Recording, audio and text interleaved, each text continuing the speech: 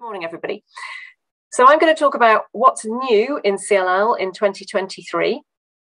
I'm not going to um, talk about novel agents or, or, new things that we don't yet have access to. Uh, Piers will cover on, uh, touch on some of those in his session next, talking about clinical trials. So I'm really focusing on um, drugs that we have access to currently or that we expect to um, in the near future.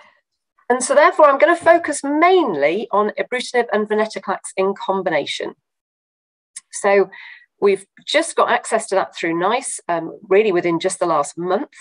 So that is a, a, new drug combination that we now have access to in the NHS in the UK on the Cancer Drug Fund. So I'm going to talk about how easy is it to deliver, what's the evidence for it, um, what side effects or toxicity do we need to be aware of, and setting it in the context of the treatments that we already have available to have a bit of a thought about where does it fit in amongst our other treatments. But to be quite honest, I think we don't completely know the answer to that yet. I will talk a little bit about zanubrutinib, um, just a few slides at the end, but we don't yet have access to zanubrutinib, but it is being uh, considered by NICE currently. So we may have access to zanubrutinib by the end of 2023. So in order to think about where we are in what's new in 2023, we need to think about where we were in 2022.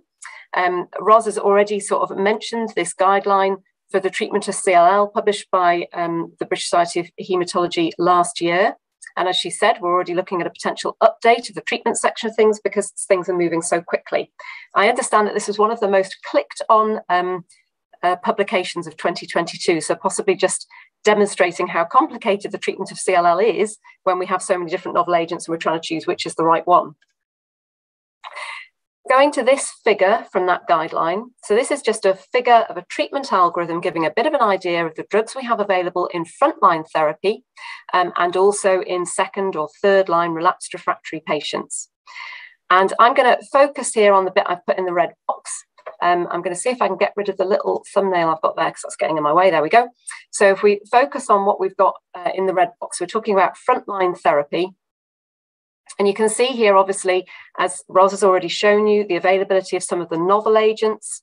Chemoimmunotherapy is sort of in a dotted line there because we're really thinking that's not applicable anymore now in the era of novel agents in the UK.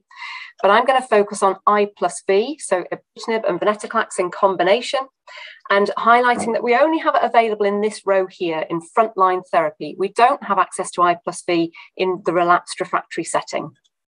And as I say, this was just approved by NICE at the very end of last month. And so we have ibrutinib and venetoclax um, as an option for untreated CLL, but not in the relapsed or refractory setting. And using ibrutinib and venetoclax together um, is looking at this sort of theoretical possibility of a synergistic action between a Bruton tyrosine kinase inhibitor, such as ibrutinib, working alongside venetoclax. So if we look at the top left bit of this first, we know that when we give BTKIs, such as ibrutinib, we know that we mobilize CLL cells from their sort of protective microenvironment in the lymph nodes out into the blood. We see this when we give patients ibrutinib or acalabrutinib because you'll see that their white count goes up initially. That's definitely something to warn patients about because otherwise they might be a bit alarmed. So we know that when we start a BTKI, the white blood cells, the, the CLL cells tend to come out of the lymph nodes where they're being protected and they and end up in the peripheral blood. So the lymphocytosis goes up initially. But we believe that there is a synergistic action with venetoclax and that ibrutinib actually sensitizes CLL cells to the BCL2 inhibition action of venetoclax. So Ros has already explained a little bit about how venetoclax works. I was just have a sort of picture in my mind like the diagram she showed you of the BCL2 protein being an anti-apoptotic protein. It's hanging on to any pro-apoptotic proteins so they can't do their job. But if venetoclax goes along and binds to BCL2, then it has to release the pro-apoptotic proteins and then they can go and do their job and apoptose CLL cells. There's a lot of interest and there's been a lot of research in recent years looking at venetoclax and ibrutinib um, in combination. And at ASH last year, there was an oral session just focused on six abstracts to do with venetoclax and ibrutinib in combination. I'm going to focus just on these two. So there are many other studies looking at this doublet combination of drugs, but I'm going to show you the data just focusing on the Captivate study and the GLOW study. So looking at GLOW first of all. So this was a randomized trial comparing ibrutinib and venetoclax in combination against chlorambucil and obinutuzumab. And this is the um, combination that we've given access to in NICE, uh, in the UK through NICE. So ibrutinib and venetoclax for 15 cycles of treatment altogether. So there's a three cycle ibrutinib lead in where ibrutinib is given on its own. And then the venetoclax is added in. And so you have 12 cycles of ibrutinib and venetoclax in combination, 15 cycles or 15 months essentially of treatment in total. In some other studies, the combination has been given slightly differently, um, but this is how we have access to ibrutinib and venetoclax um, in the UK now. And this is being compared in this study with chlorambucil and obinutuzumab. Now, we'll look a little bit about some data from the CLL14 trial a little bit later on. Uh, Ros has shown you some of those slides already. The CLL14 trial is where we got access to venetoclax and obinutuzumab. So that's what led to the licensing of that drug combination. And in that study, venetoclax and obinutuzumab was compared, as with the GLOW study, with chlorambucil and obinutuzumab. And it was looking at an older patient population. And this population in the GLOW study is exactly the same as that CLL14 population. So an older patient population either over the age of 65 or younger, but with comorbidities, and specifically using this CIRS score or cumulative illness risk score um, to assign which patients were eligible for the study. So, looking at patients with comorbidities or older patients. This was a, a frontline treatment study, so patients have not had any previous treatment for CLL. And just worth noting that patients uh, with a deletion 17p or known p53 gene mutations were excluded from this study. And I've just highlighted at the bottom there that the median age of patients in this study was 71. So a very typical kind of patient population. We know that many of our CLL patients are in their 70s, and this was an older uh, patient population in this study little bit of a contrast in the Captivate study. This was not a randomized study. This was a phase two single arm study. Again, exactly the same fixed duration uh, drug combination. So three months of ibrutinib, then venetoclax is added in. So then you've got 12 months of both of them in combination.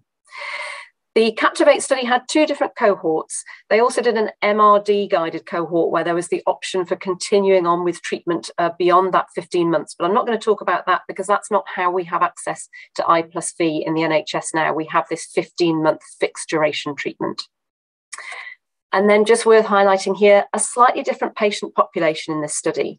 So these were younger patients. Patients were all under 70 uh, with good performance status. Um, again, frontline patients, no previous treatment for CLL, but the median age in this study was 11 years less than the GLOW study. So the median age in the Captivate study of the patient population was 60. So looking first of all, just at the simple progression-free survival in the GLOW study. So we're looking here um, at 30 months follow-up of I plus V versus chlorambucil and obinutuzumab. And you can see here clearly that ibrutinib and venetoclax combination is doing much better than the chemoimmunotherapy combination of chlorambucil and obinutuzumab. That in itself isn't a surprising result. We would expect that. We know from the CLL14 data that when we give venetoclax and obinutuzumab in combination to chlorambucil obinutuzumab, the venetoclax arm does much better. And we know from many studies now that novel agents in CLL have better progression-free survivals and outcomes than when we use chemoimmunotherapy. So this in itself is not a surprising result, but it's useful just to have a bit of a look at the kind of outcomes we can expect for our patients. This 80% progression-free survival at 30 months in the I plus V arm. So they've had 15 months of treatment and then 15 months later, 80% of patients remain progression-free. Looking at the Captivate study, remembering this is a younger set of patients, We've got some uh, charts on the left showing us sort of overall response. So overall response, including the green bars, which were complete response, and the blue bars of partial response. And we can see here 96% of patients had a response to the I plus V um, combination. So virtually all of the patients responding to this combination, and over half of them um, achieving a complete remission. It's just worth noting there, I mean, you know, if this was diffuse large B cell lymphoma or AML, you know, we'd, we'd need a complete response. But CLL is different. It's very common that in, with our treatments, we may see a partial response. And that can be that can be sufficient because it's about patients being well, either on or off treatment, and not needing to go on to new treatments again because of further progression. So a partial response um, is often what we see when we're treating CLL patients. And that's not automatically a bad thing. We don't have to necessarily seek a CR. And then we can see in the Kaplan-Meier curve on the right-hand side here, not quite such long follow-up in this study that I'm presenting to you here, um, but 96% progression-free survival at two years. Um, I'm just sort of focusing as, at this stage on all comers here, so the all treated patients. You can see that they've presented the data there, um, separating patients according to whether they had the deletion 17p or not versus all comers. We'll look at that in a little bit more detail as we go on. So we've seen there, many patients respond to this treatment, good progression-free survivals in both older patients and younger, fitter patients. How easy is this treatment to deliver? Um, there's sometimes some hesitancy about venetoclax-based regimens. Um, you will all be aware, I'm sure, and I'll show you a little picture of it as we go along about the need to um, titrate up venetoclax over a period of five weeks because of the risk of tumor lysis when we start venetoclax. So there can sometimes be some hesitancy about venetoclax-based regimes because, as Roz said earlier, they can be a pain to deliver. What about toxicities with this combination and which patients should we be giving this to? So first of all, how easy is it to deliver? Well, I've told you the GLOW study was older comorbid patients with a median age of 71. And in fact, two thirds of the patients, 67% of the patients in the study had hypertension, and 70% of them in the I plus V arm had a CIRS score of over six. So looking at this older comorbid population, about three quarters of the patient managed to complete the prescribed treatment. So um, just under 30% of the patients didn't actually get through all of the treatment, but three quarters of the patients did. In contrast, in the CAPTIVATE study, younger, fitter patients, over 90% of patients managed to complete the I plus V as prescribed. Looking at the adverse events. So firstly, I'm just going to highlight a couple of things here in the green box. I've mentioned diarrhea. So 50% all grade diarrhea. So I would be warning patients, there's a good chance you'll get diarrhea on this combination. 10% of those grade three or four diarrhea, so possibly needing treatment or even hospitalization in 10% of patients. At least a third of patients getting grade three or four neutropenia. So that means a neutrophil count of, one, uh, of less than one. Um, hypertension and atrial fibrillation. Roz has mentioned already, and you may already be well aware that we know when we use BTK inhibitors, and particularly ibrutinib, that we are always wary of the risks of hypertension and atrial fibrillation. So just highlighting the rates of those in this study. Then just to pick out in addition, there were four uh, cardiac deaths, sudden deaths in the GLOW study. Bearing in mind this is an, an arm of patients of 106 patients treated, four sudden cardiac deaths in that group of patients. The four cardiac deaths all occurred in patients with quite high CIRS scores, so CIRS score of 10 or more, or with a performance status of two or more. And many of those patients also had a history of hypertension, diabetes, cardiovascular risk factors. So it is certainly worth mentioning in this older comor comorbid population that with this I plus V combination, we definitely see some significant cardiac toxicities. In the CAPTIVATE study, younger, fitter patients, again, they saw diarrhea, all grade diarrhea in 60% of patients, 66% of patients. Very similar rate of grade three or higher neutropenia, so a third of patients getting down to a neutrophil count of one or less. Um, just under 10% of grade three or four infections, so meaning uh, infections that are going to need treatment or possibly hospitalization. They saw three serious bleeds. You'll be aware from what we've talked about already that bleeding is certainly a risk factor with ibrutinib. They saw three serious bleeds, only one sudden cardiac death. So in summary so far, how easy is it to deliver I plus V? I would be telling patients to expect neutropenia and diarrhea because we've seen that commonly in this combination in both older and younger, fitter patients. The diarrhea, whilst affecting a lot of patients um, at the all grade level, tends to be quite short lived. So it seems to be a median duration of just a couple of weeks. So I would warn patients there's got a good chance of getting diarrhea, but it should settle down. I think in older patients, patients with comorbidity, and certainly patients with cardiovascular risk factors, I would be quite wary of using this combination. And then I've just highlighted there the figures of uh, atrial fibrillation and hypertension in the GLOW study, um, just to give us an idea of the sort of incidence of grade three or higher AF or hypertension that was seen in, in that combination. We've not mentioned tumor lysis syndrome. And we know that when we give venetoclax in AML or in CLL, tumor lysis syndrome is always a risk. When we give uh, venetoclax in CLL, we use this ramp up strategy and we use this when venetoclax is given as part of the I plus V combination. So just the same as you may have used before when venetoclax is given on its own or with rituximab or with obinutuzumab. So ramping up the dose over five weeks to the full dose from, from week five onwards. When we give uh, venetoclax in combination with ibrutinib, there's that three-month ibrutinib lead-in first. And in fact, in the studies, it appears that TLS has been extremely rare when the two drugs are given in combination, because essentially the ibrutinib is debulking the disease before the venetoclax even starts. Um, and therefore, by the time you get to start the venetoclax, the vast majority of patients who might have started the treatment um, with high or medium risk disease for tumor lysis, the vast majority of those patients, by the time they actually started the venetoclax ramp up, were low risk for tumor lysis. So it seems to be very, very rare when the drugs are given in combination. So much more difficult. Who should we give it to? I've just lined it up there alongside our other frontline therapy options. There are lots of options written down there, seven if we include the chemoimmunotherapy. I think in my head, I really focus on, on two and now the third one of I plus V. So venetoclax obinutuzumab would certainly be one of my go-to frontline therapy options. Acalabrutinib, you'll see on the guideline there that there's a plus minus for obinutuzumab. Um, Obinutuzumab in combination with acalabrutinib is licensed, but we can't use it on the NHS because it wasn't approved in that combination by NICE. So if your patients are being treated privately, you have the option to give them obinutuzumab in combination with acalabrutinib, but on the NHS, we need to give acalabrutinib on its own. And now we have I plus V to add. So how are we going to choose who gets what? Really important thing to say straight off, I think, is there are no absolute right or wrongs. And as Ros and I have both mentioned as we've gone along, um, the BCSH guidelines in treatment of CLL are going to be under review now that we've got I plus V. Um, and really, all of these treatments are options for all of our patients. There's no absolute right or wrong. If I'm thinking about what are the options and what things should I think about in my patient for making a treatment decision, I'm probably thinking about all of the things on written on this slide, and you know some other things might come into play with individual patients as well.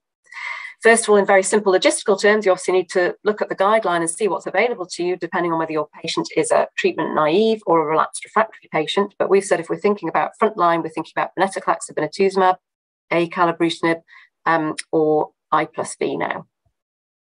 Thinking about some disease specific features, so P53 status and IGVH status, we'll talk a little bit about those. Obviously, if there are trial options available and the patient uh, is willing and eligible to take part in a trial, then we should certainly be considering that. Thinking about specific treatments, we need to think about cardiac history and whether the patient is anticoagulated, thinking about some of the toxicities and side effects, particularly BTKIs.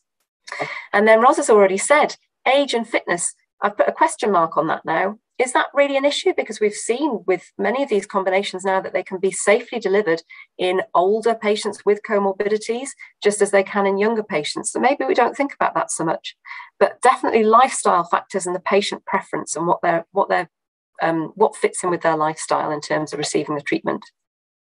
And I've put a few different issues down here. Because essentially, when we're talking about the pros and cons and patient preference, we're talking about the difference between a fixed duration treatment, so either venetoclax and obinutuzumab for a year, or venetoclax and ibrutinib for 15 months, or continuous therapy with a, with a BTKI, be it either ibrutinib or acalabrutinib, on its own continuously. And I think there are certain things that could come into both pros and cons for, for different patients. For example, I think some patients might want a fixed duration treatment. I'm on my treatment, then it ends, I can forget about it. Whereas other patients might actually like the reassurance of remaining on treatment. And when their treatment finishes, they might be worried. Does that mean my CLL is coming back? And so I'm, I'm worrying about it. And then on the flip side of that, taking a tablet every single day indefinitely on continuous therapy is a constant reminder um, that you've got CLL because you're taking a treatment for it every single day. Or in some patients, is that reassuring? In terms of toxicities, if we're talking about the fixed duration venetoclax based regimens, then if we're we've got to remember the certain toxicities that are associated with that. Um, the addition of obinutuzumab need, means the need for attending for intravenous infusions and the risk of infusion-related reactions, which are quite common with obinutuzumab. If we're giving it in combination with ibrutinib, then we've mentioned some of those cardiac toxicities alongside with diarrhea and the sort of reasonably high rates of neutropenia. And of course, if you're getting venetoclax, you're going to have to have all those um, recurrent trips into hospital for that five week um, up titration period. But fixed duration, you'll get to the end of your treatment and you won't be exposed to the toxicities of treatment indefinitely as you will be on continuous BTKI treatment. So, a lot of different things to think about. And obviously, some of these will come down to patient preference. Do they want to be on a tablet indefinitely? Do they want to just get this over and done with? Can they be bothered with the um, hospital attendances that are required with the obinutuzumab infusions or venetoclax up titration, etc.? So, definitely a lot to discuss with the patient. If we look at some of the um, CLL specific disease features that might influence our treatment choices. So I'm going to talk about IGVH status first. So Ros has shown us uh, the data that has shown us that patients with unmutated IGVH status clearly do worse, um, certainly in the chemoimmunotherapy era, and we're also seeing it with some of the novel agents than their mutated IGVH counterparts. So this is the CLL14 study, the study of venetoclax obinutuzumab compared with chlorambucil obinutuzumab. This is the study that led to us having access to venetoclax obinutuzumab in the front line a very well known study um, now with over six years of follow up. And you can see here, if you ignore the maroon obinutuzumab lines, but just focus on the blue lines where we're looking at the venetoclax obinutuzumab treated patients, the solid line is the patients with mutated IGVH, the dotted line, the patients with unmutated IGVH. And it's very clear that those curves are separating and that the patients with unmutated IGVH are not doing as well as those with mutated IGVH. So IGVH status definitely affects outcome when you're talking about treating patients with venetoclax obinutuzumab. Based on that data, I think in patients with mutated IGVH, venetoclax and is a very good option. Um, we can see from that curve that the median progression-free survival has still not been reached after six years of follow-up. But the patients with unmutated IGVH aren't doing quite so well. So would they benefit from the uh, from the addition of I to I plus V or perhaps a BTKI alone? I'll show you this data from the Captivate study. So our fixed duration I plus V study in the younger, fitter patients. So you can see in the chart on the left, we've got three different sections there. If you focus on the um, right-hand section, which is all comers, and the middle section, which is unmutated IGVH, we'll ignore the one on the left for now. And these uh, three sections, if we focus on that middle and right hand one, and then we've got a pale section, a very dark blue, and then the bright blue. So the pale section being um, 12 months after treatment is finished, the rate of CR in those patients, and then the dark blue section being two years after treatment's finished, and the bright blue being three years after treatment's finished. So three years after patients have treat- finished treatment.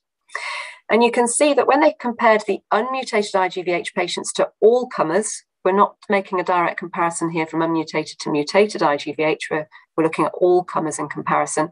But the unmutated patients seem to be doing just as well. Um, three years after treatment, 43% um, CR rate. And in fact, if you look at that 12 months post treatment, that pale grey bar, um, the unmutated patients looked as if they were doing especially well there compared to the all comers, 60% CR rate versus 54% CR rate. And if we look in the curves on the right hand side, um, the progression-free survival Kaplan-Meier curves, you can see looking at the sort of turquoisey line at the top and the maroony line in the middle, that's comparing all comers again with the unmutated IGVH patients. And the lines aren't exactly overlapping each other, but they're pretty close together. We're not seeing that clear separation that we saw between the mutated and unmutated patients treated with venetoclax obinutuzumab. So is I plus V adding some benefit here for the unmutated patients? Progression-free survival curves on the right there, I'll come back to mention something about the P53 as we go on later, because this green section is about the P53 patients. In the GLOW study, so our older comorbid patients treated with fixed duration I plus V for 15 months, focusing here on a comparison between patients in the left with unmutated IGVH, on the right, mutated IGVH status. And what's really noticeable here is that during treatment, um, you can see here we're talking about cycle three, cycle six, cycle nine of treatment. These green bars, the patients with unmutated IGVH are doing especially well. They're achieving undetectable MRD. So the green bars here indicating undetectable MRD. So MRD, minimal residual disease or measurable residual disease, when it's undetectable, indicating a very deep remission, a very sensitive um, measure of remission status and response. And when patients had finished treatment, the unmutated IGVH uh, group going up to 18 months from the end of treatment, we're still seeing very good levels of undetectable MRD in the unmutated uh, patients. So unmutated patients here seem to be seeming to achieve deeper responses than the mutated IGVH patients when we look at their MRD status in the GLOW study. Well, do we need the venetoclax bit then? What about, is it just the addition of the ibrutinib that's helped? Should we just be giving these patients a BTKI alone? This is from the Elevate TN study. So Elevate TN meaning treatment naive. Um, so this is a study comparing acalabrutinib, there is an acalabrutinib with a obinutuzumab arm. That's the um, turquoisey coloured arm at the top of the curves. I'm ignoring that because we don't have access to that, but focusing on the orangey uh, coloured curve, which is acalabrutinib alone in treatment-naive patients, and comparing unmutated IGVH in the top curve with mutated in the bottom curve. And you can see there, there's not much between them. So a BTKI alone um, maybe adding, uh, maybe more beneficial in these unmutated IGVH patients, certainly than venetoclax obinutuzumab, where we see much more of a um, separation between those two groups. So BTKI certainly does seem to be a useful drug in the unmutated IGVH patients. So unmutated IGVH patients, we have options. We can see from the CLL14 data I showed you first that the unmutated patients are not doing as well as their mutated counterparts, but still, they have a median progression-free survival of over five years. It's not dismal, and it does. It is a fixed duration treatment without any of the cardiac um, additional risks of adding in ibrutinib to the mix. So I don't think we necessarily need to rule it out as an option. Um, I plus V, I think we need to wait and see longer. Um, and I'm sure that George will be asking lots of questions about this and we can have a good discussion about this. But I plus V, I think may well add some benefit for these unmutated IGVH patients. It will be good to see for longer um, how those curves pan out and when um, the authors show us the unmutated versus mutated compared directly. But again, a fixed duration treatment, possibly a greater side effect burden in terms of neutropenia, diarrhea, and also those cardiac risks. What about BTKI monotherapy? Continuous drug, longer exposure to, to, toxicities, but very easy for the patient to take, and does seem to be showing that it is a very useful drug in the unmutated IGVH patients. So I think we have options. What about in patients with P53 mutations? Somebody's already asked on the chat uh, whether in the era of novel agents is DEL17P or a P53 mutation still an adverse prognostic factor? I think it is, um, let's have a look at some of the data, bearing in mind the sort of rough three options we have of treatments in our head, venetoclax obinutuzumab, I plus V, BTKI monotherapy. So going back to that CLL14 study, ignoring the maroon curves of chlorambucil obinutuzumab, we're not interested in that now. We're just focusing on venetoclax and obinutuzumab in combination. And again, the um, dotted line being here, uh, dotted line being patients with no P53 mutation or deletion.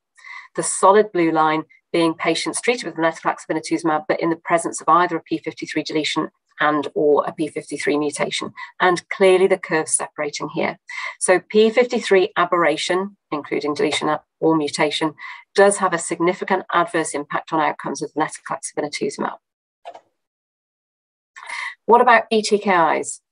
Again, looking at that Elevate TN study, so the treatment naive frontline patients, Again, ignoring that um, maroon line at the top, which is a acalabrutinib with um, obinutuzumab. But if we just look at the two yellowy, yellowy greeny colored lines, um, those are patients. Uh, the solid line is with a DEL17P or mutated P53, and the dotted yellow line without.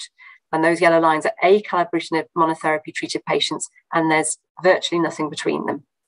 So here we're seeing it using acalabrutinib in the front line, no difference in the progression-free survival at 48 months follow-up um, regardless of the presence or absence of P53 aberration. We always have to bear in mind that P53, particularly in the frontline setting, is uncommon. Um, so when we're looking at these curves here, of 179 patients treated with acalabrutinib alone in this study, 23 of them had a P53 aberration.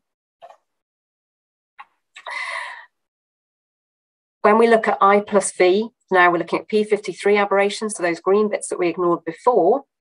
Um, you can see here in the um, progression-free survival curve on the right and also in the CR rate once patients come off treatment in the left-hand bars um, that the P53 aberrant patients are losing that complete response rate more quickly than the all-comers and their progression-free survival curve is not doing as well as the all-comer patients. Why is that? These patients are getting a BTKI as well. Well, is it because it's not a continuous BTKI therapy, because it's a fixed duration treatment and then the patient stops treatment? So, is it that continuous BTKI therapy, like we just looked at in the Elevate TN study, is better um, in the setting of a P53 aberration? So, choosing treatment options for DEL17P or P53 mutations, again, all of these are options. There's no absolute right and wrong. But I think as things currently stand, people would often tend towards giving patients a continuous BTKI, and that seems to be preferable in the setting of a P53 aberration in terms of outcomes. So, my summary so far in frontline in 2023 again, my first most important thing to say is there are options. Um, and patient discussion is very important. There is no absolute right or wrong of which is the right treatment to give in, in specific situations. It is partly a patient discussion about what they want in terms of time commitment, side effects, ease of delivering the treatment, etc. I think my default setting is venetoclax and obinutuzumab as my go-to option, and certainly in a mutated IGVH patient with no P53 aberration, that would be my choice. In a patient with a P53 aberration, and certainly patients who are not keen for the commitment of uh, venetoclax titration, certainly older, frailer patients who just don't want all those trips into hospital and rather take a, a tablet at home, um, then I would be choosing uh, BTKI continuous monotherapy in the form of acalabrutinib. But now we have I plus V, so where should we be fitting it? Well, I will certainly be wary of patients with um, high risk factors for cardiac toxicity. And I'm not, as things currently stand, going to be offering this to older patients with cardiac risk factors. I'd be very concerned about them. Um, but maybe younger patients, patients with unmutated IGVH status, could they especially benefit from this combination? My last few slides, I'm going to go on and just talk a little bit about zanubrutinib. As I've said already, um, zanubrutinib is being considered by NICE um, the company made an initial submission to NICE, and then there have been some changes along the way. So we're awaiting the outcomes, and we're expecting to hear something about access um, to zanubrutinib in the relapsed refractory population, whether it's approved by NICE, possibly in the autumn, um, but in frontline patients has yet to be confirmed. And we don't know exactly which patient populations NICE uh, may or may not give us access to zanubrutinib in. So this is currently up in the air. Um, but I'll show you a little bit of data about this. So zanubrutinib is a second generation BTKI. Um, and I'm going to talk about two different studies, the Sequoia study, which is a frontline treatment naive CLL patient study, and the Alpine study, which is relapsed refractory patients. So first of all, the Sequoia study. So a randomized study. There were two cohorts of patients. Cohort one, the top cohort, patients did not have a DEL17P or P53 mutation. In cohort two, they did. So all the cohort two patients have a P53 aberration. In cohort one, with no P53 aberration, patients were randomized to either zanubrutinib monotherapy indefinitely, so continuous monotherapy, or bendamustine and rituximab. These are untreated patients um, and if we look in the red box here, like the CLL14 uh, population and the GLOW study population, these are older patients with comorbidities, specifically patients who are considered unsuitable for treatment with FCR. These patients had to be considered suitable for treatment with bendamustine rituximab, which is not totally straightforward, easy chemotherapy. So I don't think we're talking about a very unfit patient population, but patients that the physicians considered unsuitable for treatment with FCR, which is obviously tough stuff. Again, not a surprising result to see that the novel agent zanubrutinib is doing better than the chemoimmunotherapy. But again, just showing you this for a bit of a sort of line in the sand about outcomes that our patients could expect. So this is at a median follow-up um, of three and a half years, seeing a progression-free survival of 82% in the zanubrutinib treated arm.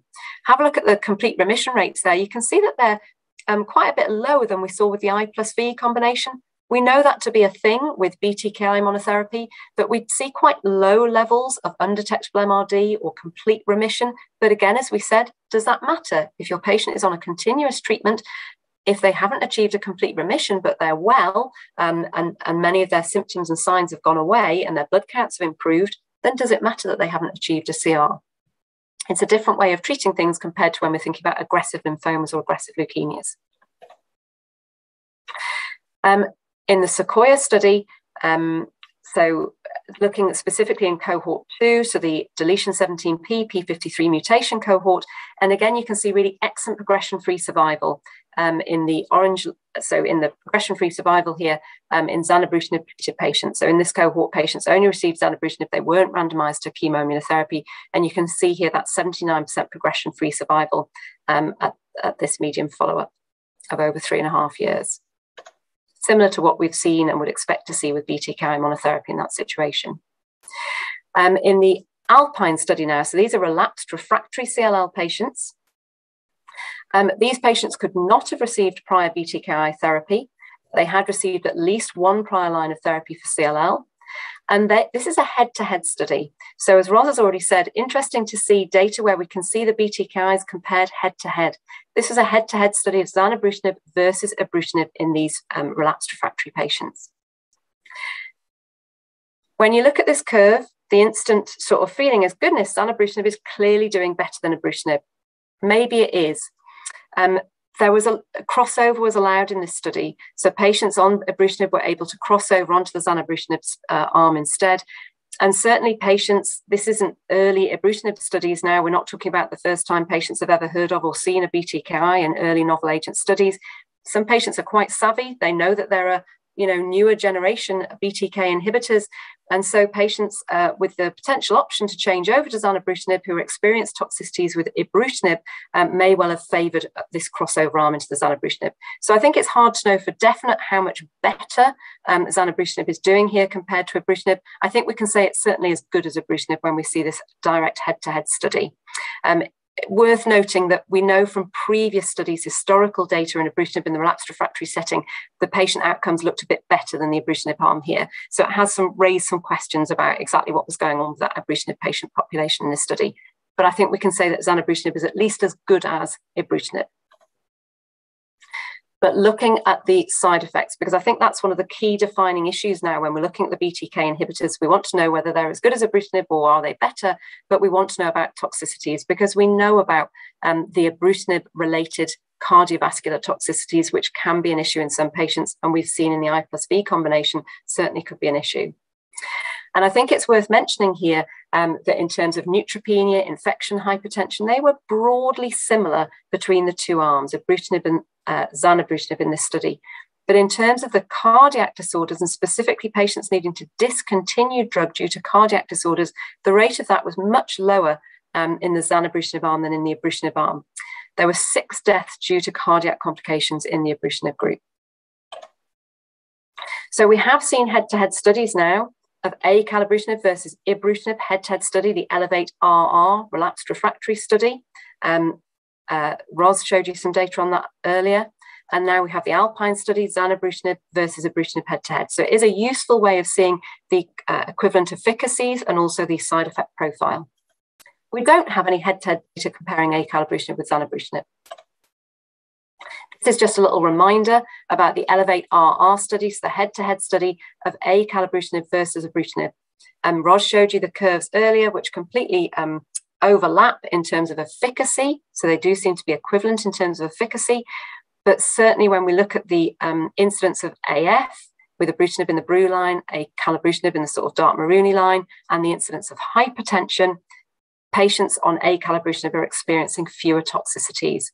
And also, when we look in the little table at the top right, in terms of um, uh, all grade bleeding events, the acalabrutinib patients seem to be doing better. So we have a multiple choice of BTKIs now, and potentially, depending on whether we get access through NICE um, at some point this year, we may well be able to add zanubrutinib to that list.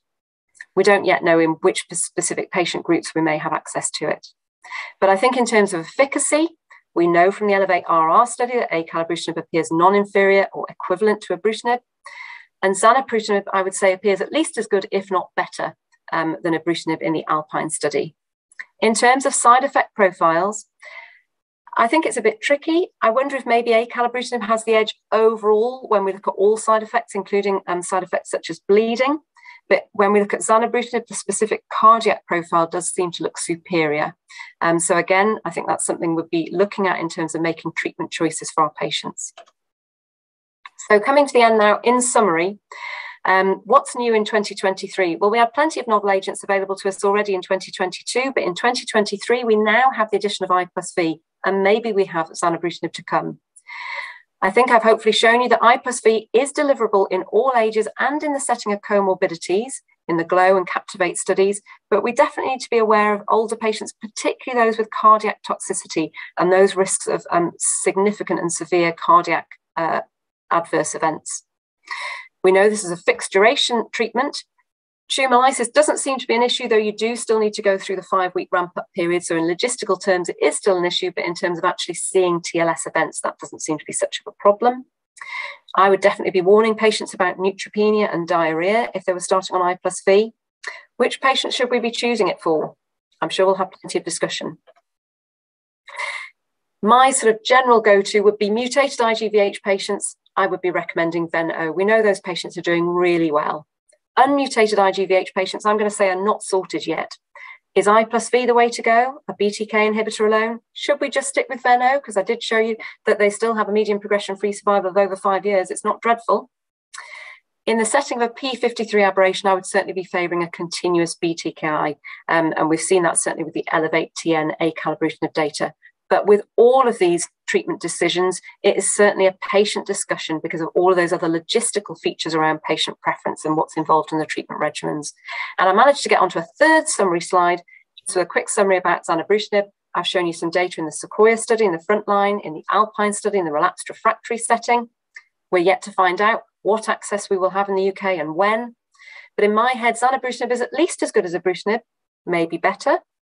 Um, and in terms of side effect profile, it is certainly superior to ibrutinib in terms of cardiac risks. Um, I'll end it there and we can certainly go on to some questions and discussion and I'll stop sharing my screen. Helen, that was the most fantastic talk. That was really interesting how you covered off these new areas of CLL and how our world is again changing and you opened up these difficult areas of discussion, which it's going to be great to try and unpack um, because it is straightforward. And I suspect we have not got easy answers.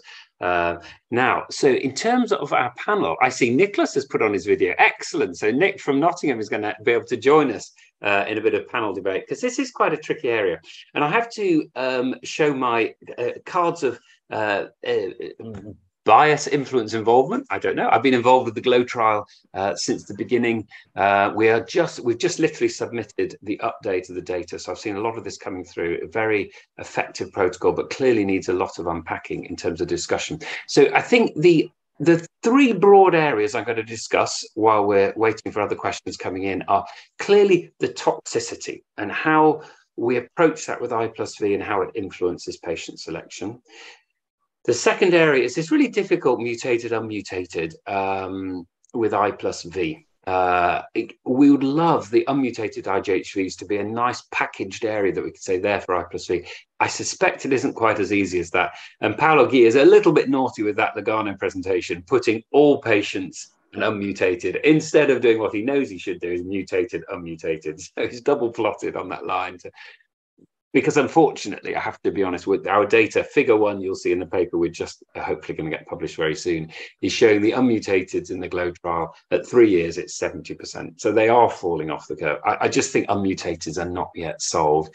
Um, and then, of course, the other area of discussion, ZANU, where that fits in we didn't sort of, sort of perhaps unpack the 17p deleted. Does ZANU have a bit of an edge in that area? I don't know. It's quite interesting areas of debate. So toxicity the GLOW trial and the Captivate trial, you can't get better differences in toxicity. But I'm always start off by reminding people that the GLOW trial, it was a small trial. It was powered against chlorambucil obinutuzumab, and that's why they were able to get that as a registrational trial with only 106 patients per arm. So it means any analysis of subgroups, as Pete Hillmen always says, is fraught with difficulty because we're starting with small numbers when it was published, you know, that first publication, the seven grade five adverse events, so seven out of 106 patients died because of toxicity. You know, that's what that means. If you actually look at the overall survival plots, we know about 10, 11 patients had died by month 15, not all of them still on therapy. But it means if you are following that trial correctly and you're consenting somebody over 65 or comorbidity, you have to say there's a 5 to 10% chance you uh, will die within the first 15 months Now, we know that the deaths were heavily weighted towards the properly comorbid, and it was internationally recruited. Um, you know, I'm not passing judgmental comment, but I know some of those deaths happened in other healthcare environments, uh, neutropenia, sepsis related deaths. Um, does so? Should we approach that with caution? Because this remarkable data of seeing those flat curves, because obviously up to 42 months in the GLOW trial, there were 15 deaths in the experimental arm, but very few beyond the end of treatment.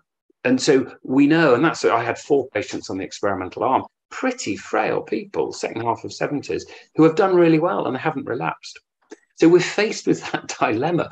Um, and, and I think, so Helen, the way you, I love the way you um, highlighted these problems of how we approach that toxicity. And you went for cardiac toxicity, which I think we would all agree with. I think I also feel about any frailty markers, how you'd cope with the neutropenia, because as you as you highlighted, 36% neutropenia. It's the recurrent neutropenia. And I think we've learned quite a bit more that ibrutinib can impact on venetoclax excretion. And so I think having a low threshold for perhaps cutting back your venetoclax dosing, um, I had a number of patients I really struggled, battle through on the trial, the neutropenia being the issue. Um, so, Helen, you, you illustrate those points. Nick is new to this discussion. He wasn't in our first panel. Let me jump on Nick as a first person. So, um, the toxicity of, of I plus V when you have a patient in your clinic, let's forget the mutated unmutated. What toxicity things would sway you to using it or not use it? hi, uh, hi, George. Thank you. Uh, I think I think um, the toxicities are now, in general, not just for I plus V, but also for uh, BTK inhibitors uh, in general, are something we need to be um, very careful with uh, in terms of how we define them and how we uh, sort of uh, tease out which which are the ones that are precluding our patients to receive one one uh, one uh, one treatment or the other. And and um, cardiovascular comorbidities, um, for example, is a very broad term, and it doesn't it, it does encompasses everything. AF, uh, you know, uh, uh, uh, complete blocks, complete heart blocks, where the patient has coronary coronary heart disease and they've had a history of heart attacks, whether they have a um, uh, triple bypass surgery, and all of that is sort of encompassed in it. And then I think we have to be um, we have to learn to be more um, um, specific on what we're dealing with and what uh, and, and what is actually the, the problem. And in, for, uh, for I plus V specifically, I think the risk is basically,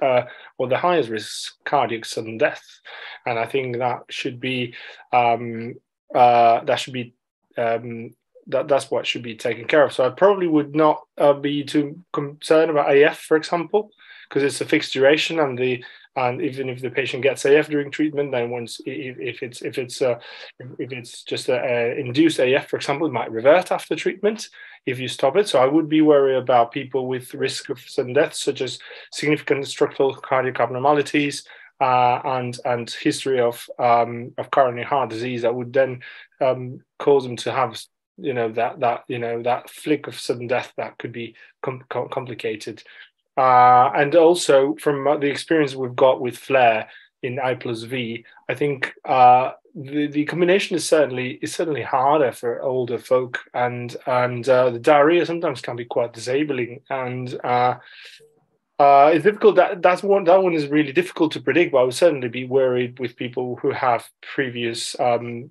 um, bowel problems, short bowels, um, IBS, and that kind of uh, thing that would uh, sway you. And I think those are the two main. Uh, and the, the, neutropenia is a problem, but um, uh, I think, in, in, as you say, in in our in our uh, health service, in which we have a more um, um, close uh, monitoring of the patients. I don't think that's going to be a big uh, issue for us in the UK. I think so. So, Nicholas, I'll, push back. So, you thank you for mentioning FLAIR. Of course, we are familiar with FLAIR in the UK, but by definition, those were younger, fitter patients because they were fitter for randomisation to FCR. I think which has influenced us. And I'm going to bring Piers in about the duration of treatment because there was some interesting molecular data from ASH. I know Piers is all over that.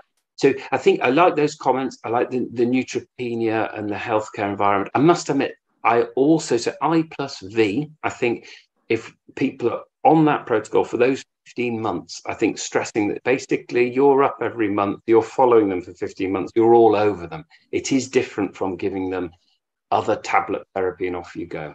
And I, I, I, think that links into your comment about our different healthcare environments. And we have this ability to follow our patients relatively closely. And I think that is part of the trade. You're on a fixed duration, which is great. So we'll follow you really closely, and then you can have your very far follow-ups going forward. So I'm going to actually I'm going to go Ros first, and then Piers, and Lily. I will be bringing you in as well. So Ros, to keep it moving, because I know we've got to, till quarter past, and I do want to talk about IGHV toxicity. Do you have any other points you would raise on toxicity?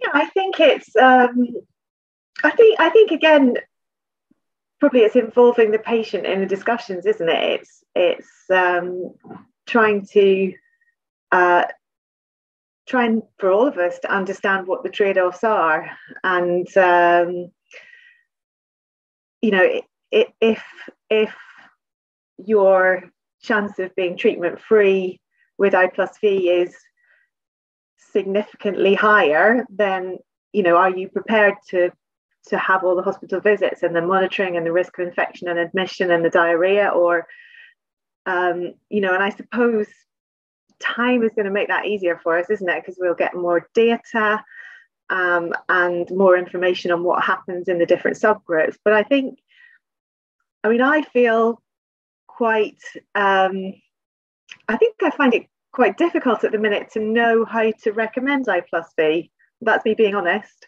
Yeah, no, no, no. I think I think we're all a bit like that. um, okay, okay. So actually, before I go, to, sorry, Ros, cutting you off there, but I think right. I'm aware of time. Uh, Lelia, do you have any points on those toxicity things before I bring Piers in? Uh, well, maybe my declare my conflict of interest. I was a participant in Clarity, so I've had I plus V. ah. and uh, how well you do. uh, and it's yeah, I guess the first, it is so much about discussion with patients. I've had FCR and I've had I plus V.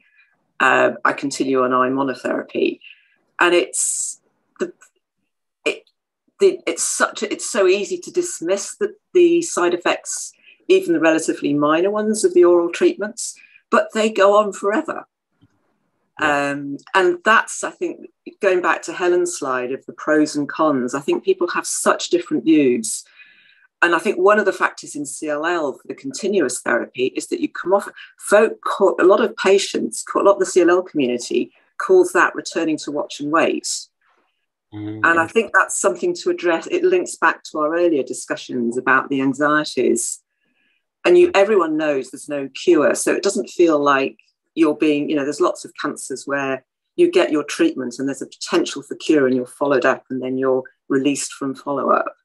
But it is amazing, isn't it, Lily, that, that different, you have some patients say, you know, I take my blood pressure tablets, I'm going to take my ACAL, I'm not fussed. And then you have other patients who simply can't settle into that point of view. Yeah.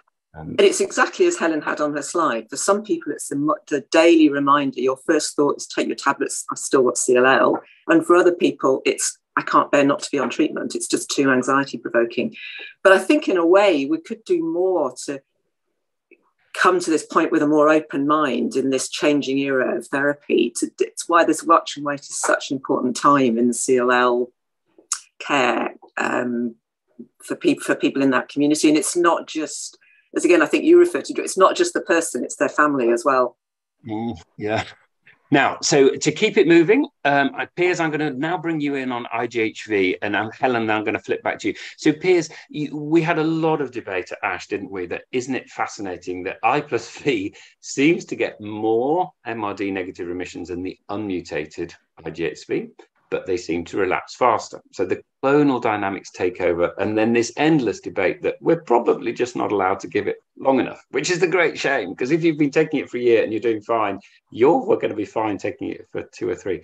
But I don't know. You, have seen all the data, Piers. Uh, do you have anything coming clear in your mind about mutated, unmutated, where we should be going?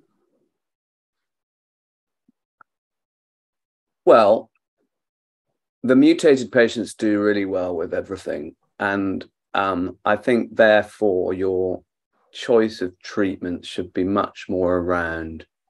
And th- this is a generalization because, of course, we all have a few mutated patients who've got other adverse genomics. But you know, if you just take that, and I do think for mutated patients, it, sh- the, the, it really is around what is the impact of the delivery of the treatment to you and the side effects and the the, the giving it and, and everything else. And I think we really should be much more focused around around that and then what's right for the patient if they want to be. I mean, because there's nothing wrong with giving continuous BTKI to a mutated patient. I've got very very happy patients who've been on ACAL actually from the original studies for eight years, no problems at all. I'm very happy to take it. So unmutated patients or ones with genomics that you don't like the look of, whatever you, however you're going to define that, be it complex karyotype, be it P53, be it your own sort of personal, I think then you need to be thinking about the efficacy of these regimes continuous BTKI, whichever BTKI is very good for CLL. But and and and and I I'm personally disappointed by this IMV regime in a way. I've over the last I mean maybe talking too much to you, George, actually.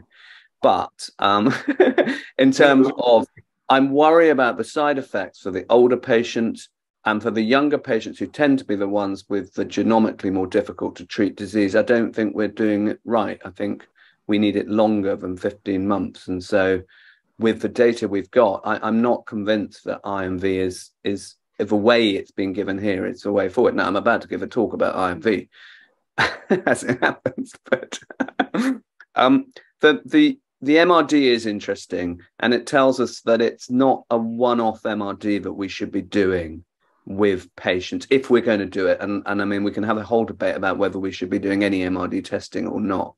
But for this combination, for the BTKI, BCL2I combination, a one off MRD isn't really telling us that much. You need to do it more than that because it's the it's the pattern of it. Because you're right, you get this deeper blood and bone marrow remission because that's what, of course, we're testing with MRD, with IMV, with unmutated cases. But it comes off again quicker as well. And again, that's one of the things that the FLAIR study's been exploring, and I'm, i will show some slides coming up to talk about that a bit. So I think this is quite a nice prelude to that. Um, I'm not sure I've answered your question. I think we all have the uncertainty, though. That's the problem. Yeah, and and, and I think um, so. It, I think Helen's what slide, which said it's an option, is absolutely right. And and I I again, I'll come back to my MD, MDT point. People want me to say, and they do seem to turn to me in our network you know which you know you which are, right, the right patient and and and and the answer is it's individual patients and and that there isn't a right answer for anybody. And actually we're incredibly lucky. We've got such great mm. treatment for so many of our patients here. There are a small proportion of patients we're not serving well um, both by letting their disease progress or you know or, or their disease progress or because we've given them toxicities which we didn't necessarily need to do no, wise words. So, Piers, before I'm going to link in Helen to round off, I'm just going to go to the chat because thank you. There's some good questions coming in. Uh, using V plus I causing more adverse events, is it worth it? Uh, I guess that's what we've been throwing around here. How about just using V or I on their own? So, you're, you're abs- it's this constant debate with CLL is that if you have a combination of available therapies that will already meet the natural life expectancy of that patient, inevitably toxicity becomes a dominant issue because if you have a 72 year old who you sweepingly say has an actuarial 10 year life expectancy our current weapons can get us there most likely. And so therefore we do, we we don't want to we don't want to compromise patients quality of life. So that's the th- central part. Is Zanu privately? Yes i've got if you're running private clinics i've got a couple of Zanu. The main insurers tend as you just remind you all they tend to recognize EMA and then carry over to MHRA licensing. So if a drug is approved, uh, but not yet NICE approved, most insurers, if you write the right reports, will uh, allow you to get that. With ACAL, wasn't VT a big risk factor? So I think it's probably, I'm just going to sweepingly say the second generation ones have less in the way of uh, the, the major cardiac risk factors. And I think that's both atrial and ventricular. I think Helen just pointed out perhaps Zanu has just the edge, not with hypertension, but in terms of if you're really dissecting the cardiac risk per se, I think uh, Zanu might just sway it. So one of my chaps have just started on Zanu in the relapse rather than ACALA, had actually had pretty bad ventricular arrhythmias, had a pacemaker fitted, and I thought, you know what, he's gone, he's relapsed on the back of VR, So VR was a solution three or four years ago. He's now relapsed. He's in the private clinic, and I put him on Zanu. Uh, do we use FCR at all now? Not really. I think you know, who knows? Five, ten years, we might have the patients. We've gone through all of our drugs, and we're coming back. But uh, and then, what do you think about combinations with with other BTKIs? Well, Piers might talk about that. There's obviously some data coming through, but they are not licensed. So, Helen, the last uh, two minutes before we close this session, you, you've heard all this debate those three areas, we didn't really come on to 17p, did we? But um, toxicity, IGHV mutational status, and uh, 17p. Give us some overall summary points. I hoped you and Piers were going to tell me what to do with the unmutated patients, and I'm disappointed. That's my summary. Oh dear. Oh, Helen, come on. It's like Piers saying everyone looks to him, and then I get worried people look to me. But my trick on the end is always. it's, it's tricky, isn't it? It would, it would, as you said at the start, um, George, it would be lovely that this had all been nicely packaged up, wouldn't it? And we could say, oh, good, we've got unmutated sorted, but it doesn't seem to be the case um, necessarily. And I'll be interested to see the, the publication you're talking about um, in GLOW, because I mean, we could obviously see those curves in GLOW separating on a previous publication. Um, so yeah, I, I guess we've, we've still got lots to lots to think about with unmutated. It certainly is not sorted. I think I do approve, uh, appreciate that the point you made about Veno. Let's remember that Veno for unmutated GHV, it is still a well-tolerated regimen. You've got patients getting five, six years of remissions, and then they'd flip on to a BTK, which, you know, that point, Zanu, Acala, whatever. There are very good options and then rotating back onto a venetoclax space, and then, as Piers will be talking about some of the non-covalent BTKs, there are many options. So, so starting an unmutated patient or starting a mutated patient on any of these options still has very good efficacy potential for the clear majority of our patients. Thank you ever so much, Helen. Brilliant session, and to the panelists.